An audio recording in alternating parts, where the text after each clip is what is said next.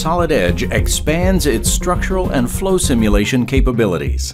Starting with structural simulation, in addition to static studies for stress strain, buckling, vibration, and steady state heat transfer, users now have the ability to study the impacts of heat moving through parts with relation to time, also known as transient heat transfer. This allows designers to see temperature changes over time in order to assess things like heating and cooling performance. In this example, we need to ensure that the heat generated from the motor doesn't overheat the printed circuit board, or PCB, located directly beneath it.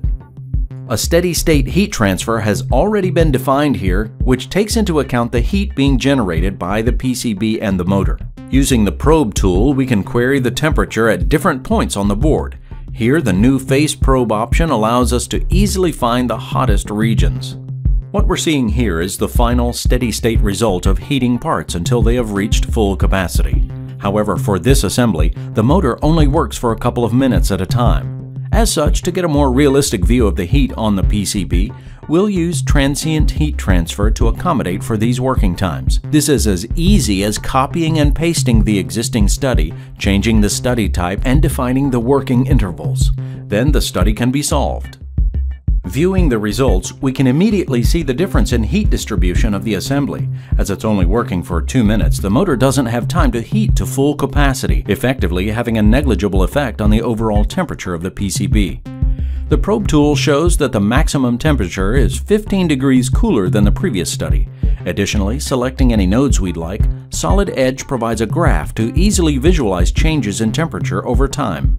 Solid Edge's transient heat transfer capability gives more precision to the user, allowing for essential visibility into heat distribution of components critical to validating your designs. Turning our attention to flow simulation with Flow EFD, the EDA bridge allows the import of PCB designs for fast analysis. Again, focusing on the PCB, the electronics design for this has been completed in the Solid Edge PCB application.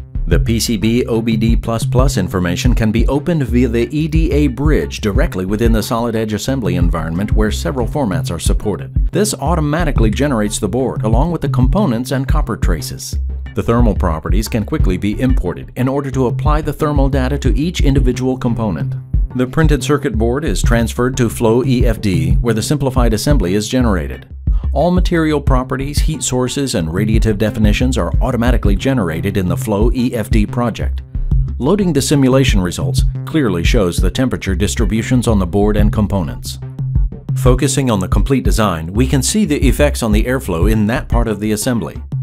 Other new enhancements include the ability to analyze the behavior of fluids moving, sloshing, or pouring using free surface technology, as can be seen here when this trailer comes to an abrupt stop. Compare this behavior to a design that contains baffling in the tank to try and eliminate the excessive sloshing. Viewing the results of the two designs side by side illustrates the benefits of the baffled design. To learn more about Solid Edge, visit solidedge.siemens.com.